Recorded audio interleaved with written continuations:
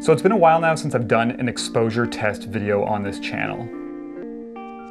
In the past, the three stocks that we checked out were all color negative, but for a while now I've wanted to do one of these tests using slide film, just to see how far it can be pushed. So recently I picked up a few rolls of Kodak's new Ektachrome in 120 format, and I figured that there's probably no better reversal stock to start with for one of these tests than the latest one to hit the market. So if you missed the previous tests, they're definitely worth checking out. But basically my approach has always been just to take a particular film stock and see how far it can be both under and overexposed before it starts to fall apart.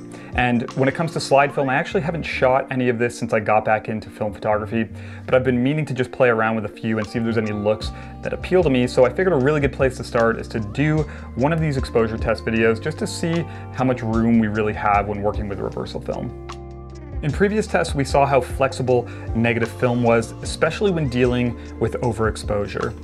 But you always hear about how unforgiving slide film is and how you have to really nail your exposure. So I figured this would be a great test to really see how much room we do or don't have.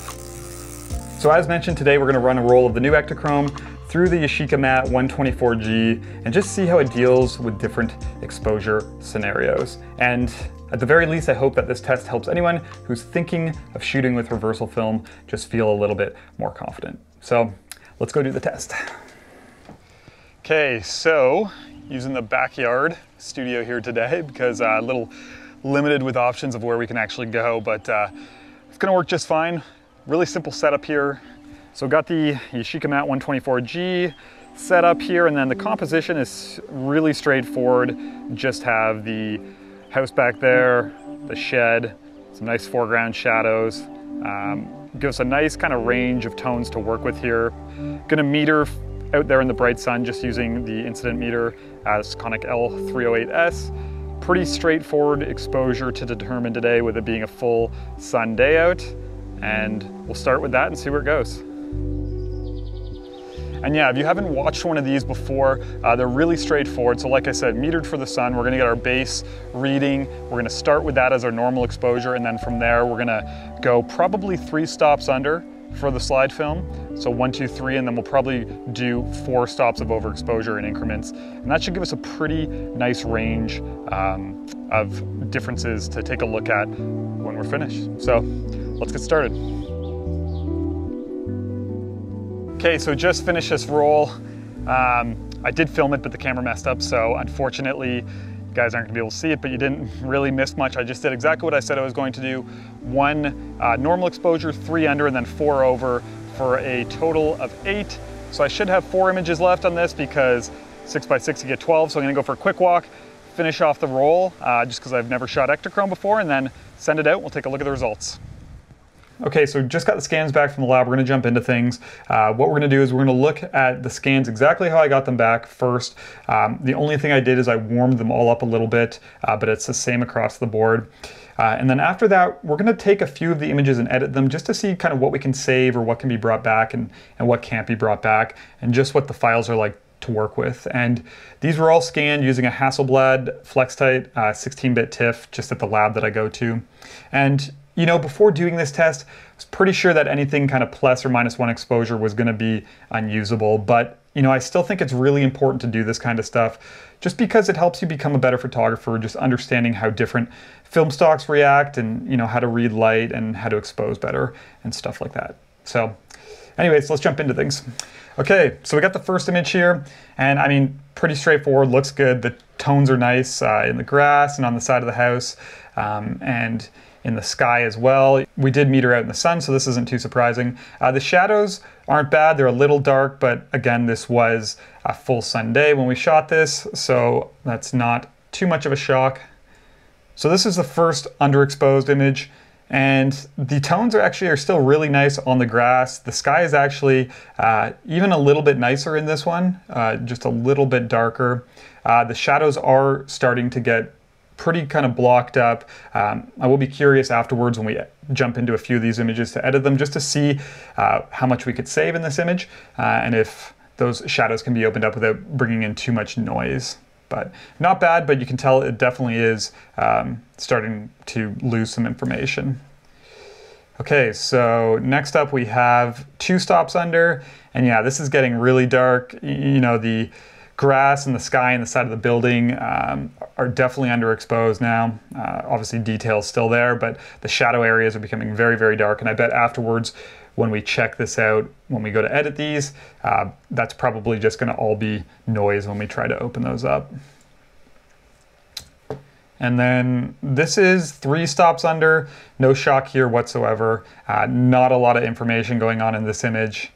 I'd almost can guarantee that this one uh, is going to be pretty much a toss away when it comes to editing. I don't think there's going to be much bringing any of this back, uh, which makes sense because we're three stops under. Almost no information was recorded in those shadow areas whatsoever. Okay, so let's go to the first stop over. So this one isn't too bad. Um, the grass and the sky and the side of the house, uh, it's still lots of information there. Um, the shadows obviously are a little nicer in this one because it's one stop overexposed from out in the sun. Uh, but it looks like the image is starting to take on a little bit of kind of like a, a warm cast to it. Um, again, it'll be interesting to see specifically with this image and the one stop under, um, you know, how much these can be tweaked to kind of look like the normal exposure. So shadows are, are pretty nice in this one, but the rest of the image is starting to get a little strange. So two stops over, same thing, obviously not a surprise here. Uh, getting quite a bit more information in those shadows, but the sky, the side of the house, the grass, anything out in the sun where we exposed, uh, you can tell that it's starting to lose information and that there wasn't much there to be scanned. Three stops over, almost no information now in that sky. Uh, shadow areas are opening up even more, but yeah, the image is just becoming pretty bad, which again is not uh, shocking whatsoever. And then four stops over, yeah, pretty much completely unusable. Uh, again, no shock here. You know, there wasn't a second where I thought we could overexpose slide film by four stops and have any decent results. Okay, so let's go ahead now and jump into Lightroom. And I'm really curious, um, mostly with the one stop under and the one stop over, just to see kind of how workable those images are, just because um, that's kind of what I was anticipating uh, the flexibility, the range would be uh, working with this film.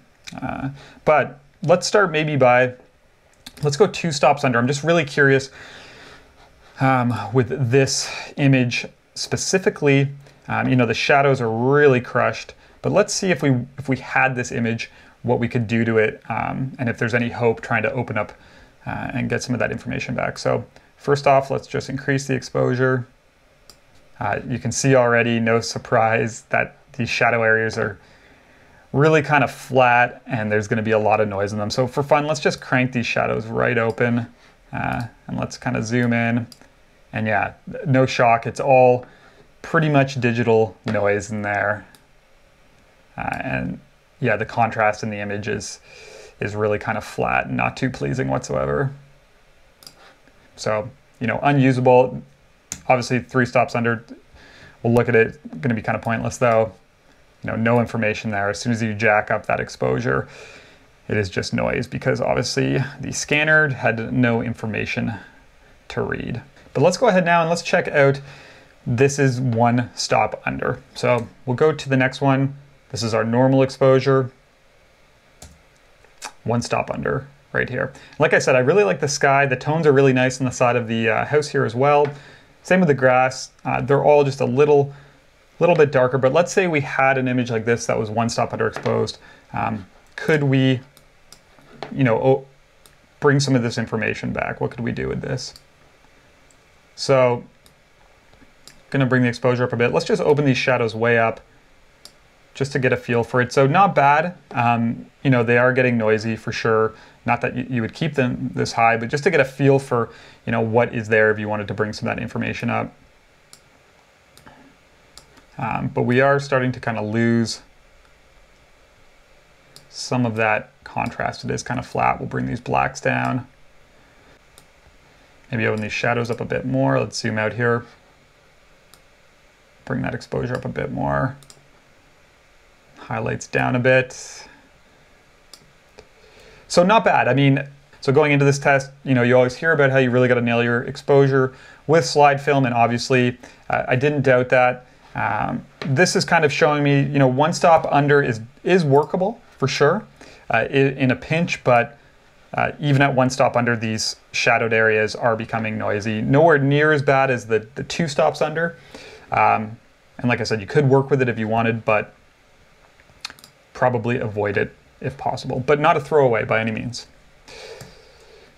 So here's the normal exposure. So what I am curious about with this is what we could do with this when we edit it. And for me, um, probably what I'd want is I'd want to bring the highlights down just a little bit. Um, the image looks nice. I would want a little more detail in those shadows. So let's see what it's like with this uh, properly exposed one if we just open those shadows right up. And you'll see it's a lot nicer down here in this area. Even in the one stop under, we were getting a lot of noise down here when we cranked those shadows right open, but seems like in this normal exposure, there is uh, a lot of room to, to kind of play afterwards when you're editing uh, to just get the tones where you want, want them to be. So let's bring those down a little bit because for me, the image was a little too contrasty. We'll bring the blacks down now though. Obviously, again, we're dealing with, you know, a mid-afternoon sunny day, so the contrast levels are really high. But uh, yeah, not bad. Seems like there's enough flexibility in this normal exposure to, uh, you know, play with the tones and, and kind of shape this image a little bit and, you know, open up those shadows a bit. And it still stays pretty clean. So that's cool. Okay, so this is the one stop over, and I am curious about this to see what we can uh, do with it. Obviously the shadowed areas are going to be nice in this one because a little bit more uh, exposed towards the shadows, so lots of information there to play with. Um, but let's see if we try to just bring this down. We're going to lose a little bit of that warmth. Uh, bring that exposure up a bit. Blacks down a bit.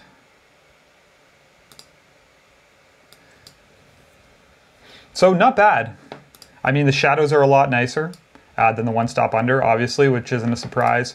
Um, and you know, even just with a few quick edits here, um, the sky isn't bad. I, you, I feel like you'd have to still play, maybe dig into the curves a little bit and play with uh, color cast a bit because even though I took away some of that warmth, now, you know, the midtones and the shadows in this area are pretty blue, even though the sky looks better. Um, but it seems like the one stop over is going to be a lot more workable uh, than the one stop under just because those shadows stay uh, a little bit cleaner. Although, that being said, you know, the tones, like the midtones and the highlights aren't as nice, but you know, again, not a throwaway by any means. Okay, so let's just jump up to three stops over. Um, and this isn't gonna be a surprise. You know, the information is pretty much gone. As soon as we start trying to pull it back, I mean, the shadow areas are really nice, which again isn't a surprise, but you know, the sky is just got a really weird kind of cast going to it now. You can tell there was probably no information right in this area when this was getting scanned. So interesting to see these results. Um, I am going to link to the unedited uh, TIFFs in the description below. So definitely check them out and you can mess around with them a little bit. Obviously we just did some quick edits here. So, you know, have a go and then you can come up with your own conclusion on this test. But, you know, for me, I think what I take away from this is what you always hear. You want to nail your exposure working with slide film. And, you know, the buffer that I would probably give myself is maybe half a stop either way. Uh, you know, maybe one stop over. But it is interesting to see that at one stop under, one stop over, the files are still very much workable uh, and they aren't throwaways whatsoever. But by far the nicest image with the best color uh, and the most kind of flexibility was that uh, normal exposure that we metered out in the sun.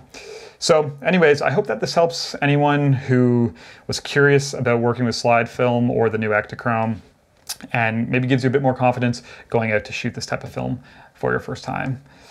But anyways, as always, thank you guys for watching. Um, if you aren't following me on Instagram, it's where I post all of my recent work quite often. Uh, link is in the description below, so definitely check it out. And until next time, thank you guys. We'll see you soon.